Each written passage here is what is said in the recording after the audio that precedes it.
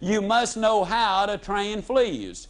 And so, my question in this uh, live presentation here in front of all of you folks how many of you in this audience, and all I want you to do is be honest with me, how many of you do not know how to train fleas? Can I see your hands, please? hey, you got here just in time. I know you heard the one about the two fleas at the bottom of the hill, and one of them says, Well, do we walk or take a dog?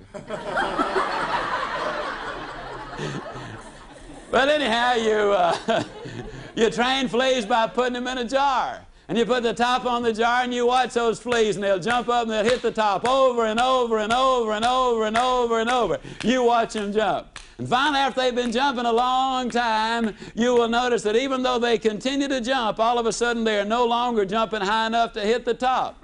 Then it's an absolute fact. You can just take the top off of the jar and they'll keep on jumping and jumping and jumping and jumping, but they cannot, I repeat, cannot jump out. You see, they have conditioned themselves to jump just so high.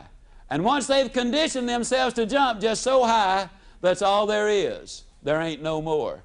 Man is the same way. He starts out in life to climb the mountain, to write the book, to break the record, to do something with his life. But along the way, he bumps his head, he stubs his toe, and he becomes what I call a SNIOP.